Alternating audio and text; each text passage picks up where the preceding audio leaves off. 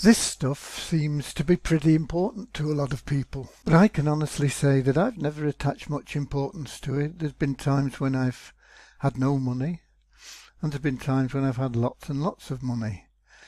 And quite honestly, it's not really changed my life very much at all.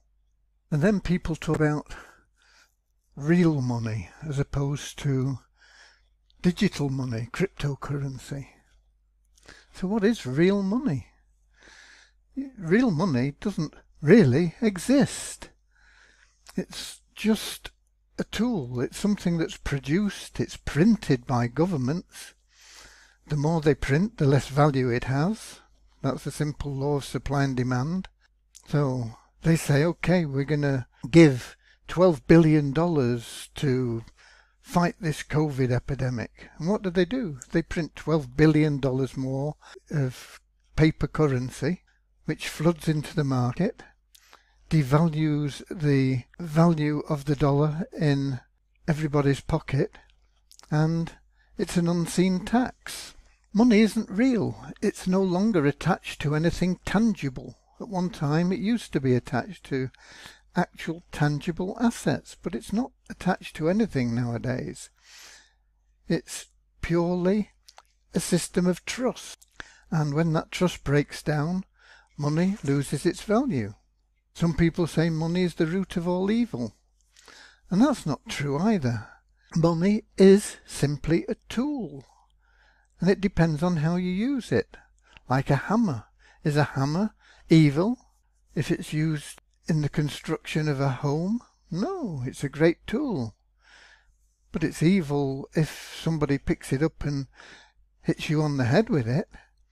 But that's not the tool itself. That's the use of it.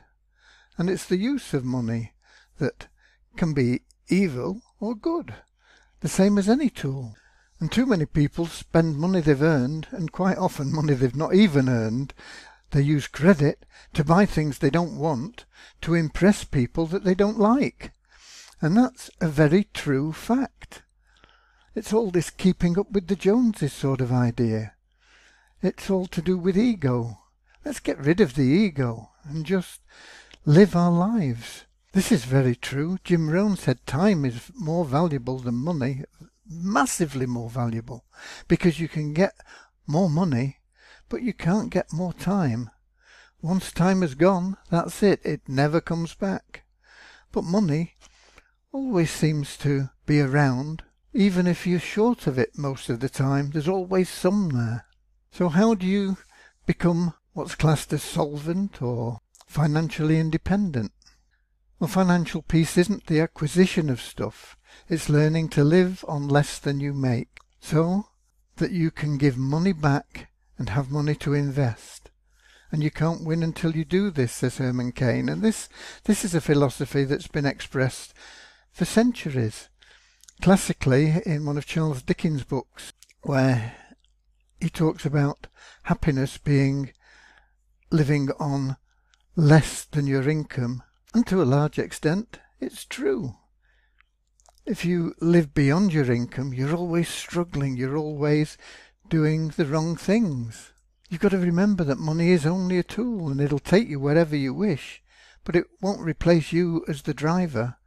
It's all to do with you and the way you react to things and the way you use it. And because of irresponsibility, the thought that money is important, people tend to chase money. And what happens? Money runs away from you and it can run faster than you, I assure you. So you've got to stop chasing money and make money chase you. How do you do that? Well, first, you've got to disattach yourself from the importance of money. Money has no real importance.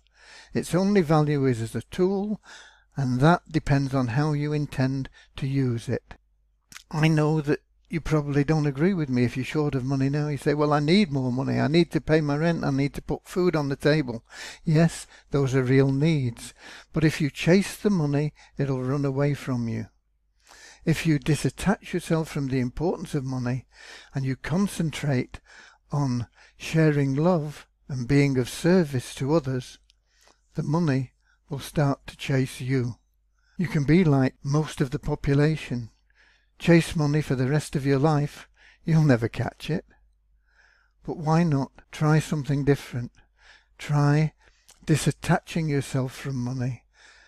Believe that money will come to you as long as you share love and offer service. It happens. Believe me, it happens.